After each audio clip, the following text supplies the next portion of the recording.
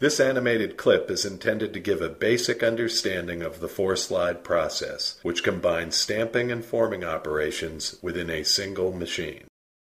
The following demonstration shows the manufacture of a fairly sophisticated sample part. Shown here is the stock in coil form. In this case, we use high carbon 1070 annealed steel, thickness 28 thousandths, width 826 thousandths. The part will be hardened through heat treat and plated following manufacture on the four slide machine. After straightening of the material off the coil, the first step in the process is a progressive die. This particular part involves a five station progressive die. The shape of the part is blanked out, the part is stamped, and the keyhole area is coined. You can see the part taking shape in the strip shown above. The cutoff tool separates a single part from the strip. The part clearly shows the material removed, as well as the coining at the keyhole and the semicircular burr, which is intentionally formed, on the clearance hole. The front tool forms a U on the outside frame of the part, wrapping the part around the center form.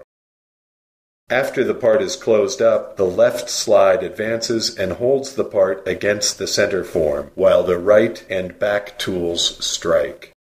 The right tool closes the U and forms the underside of the clip. The back tool then forms a U in the inside portion of the clip by wrapping the material around the center form.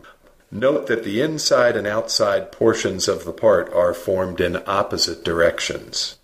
After the center form lifts clear, the right tool again strikes, this time closing the clip further. The form is now complete and the part falls into the parts catcher. This shows the finished part after heat treat and plating. The four slide process is well suited to the manufacture of a wide variety of flat springs, metal clips, battery and electrical contacts, just to name a few.